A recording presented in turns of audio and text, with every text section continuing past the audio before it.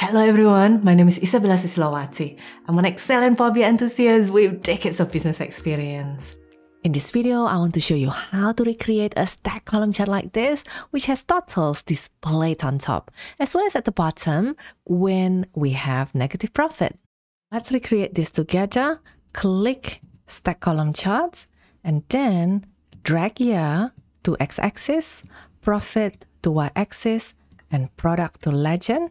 And then once you've got your charts, then click format your visuals, turn on data labels and total labels, and then make the font a bit bigger, bold it.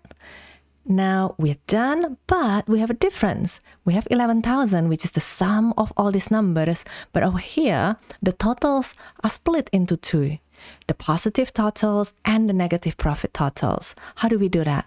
All we need to do is turn on split positive and negative. And we're done. I hope you have enjoyed this video and see you next time.